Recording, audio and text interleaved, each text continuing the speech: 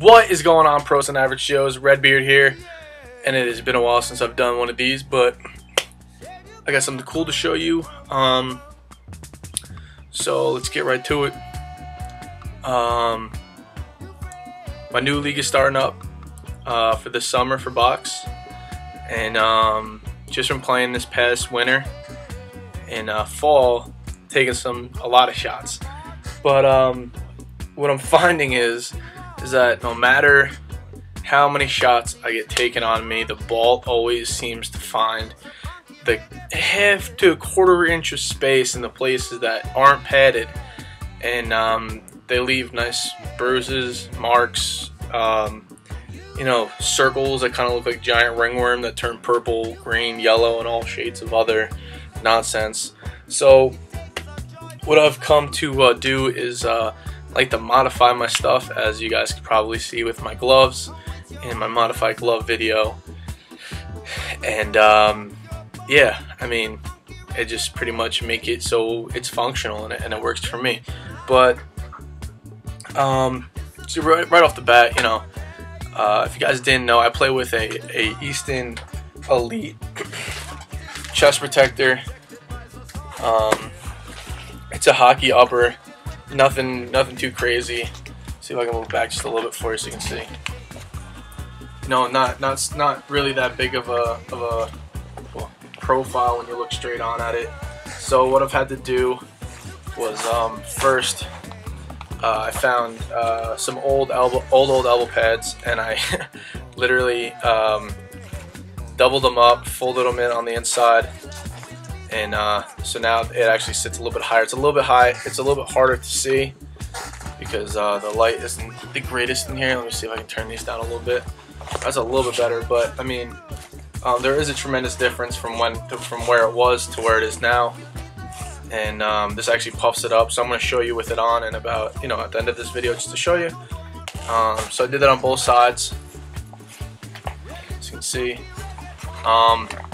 I know a lot of guys have been telling me to puff up my shoulders and my chest, so that's really what I tried to do, especially from uh, my Canadian followers. Thank you guys so much for tuning in and uh, giving me tips and uh, suggestions. It's, it's really helped out a lot, um, especially when with the gloves too. When I got when I got hit in the hand and my my hand swelled up.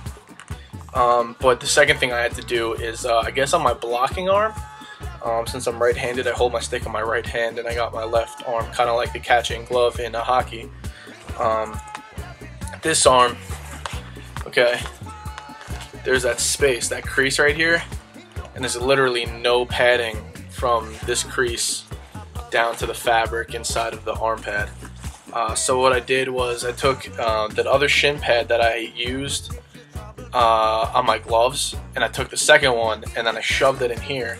So you can see that actually fits perfectly and it's just big enough so I can still get all the flex that I need on my arm. Um, but, you know, there's a pad right in this crease where I'm not going to get hit.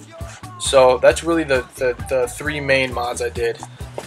And, uh, oh, um, there's actually this like breastplate. And on the elbow pads I had like this hard uh, rubber, hard plastic dome thing. So, well, I'm just trying it. It kind of looks stupid. I don't really care it works. Uh, is um, I threw it on there because I found out it actually puffs up my chest a little bit more. And uh, it sits a little bit higher so there's actually space in between. You can kind of see it there.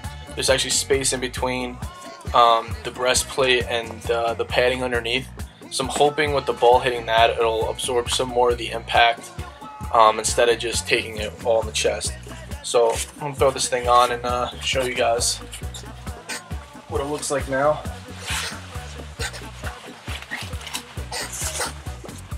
I'm not going to buckle it, but I mean, right off the bat, you can see that my shoulders are a lot higher up. Um, the problem I was having before was um, my shoulders coming down, and when I would go into my stance, so my right hand is down, um, my whole shoulder would actually dip, and uh, that right corner would be picked off every time. So I'm hoping with these, you know, I can still get full range of motion. You know, I'm still kind of sketched out about this here. Um, this isn't pulled back all the way though yet, so, but you know, a ball gets through every once in a while. It's not that big of a deal. as long as I make the save.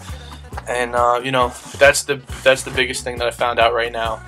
Um, you know, thank you again to all all the guys that uh, made suggestions since I started buying all this stuff um, almost five months ago.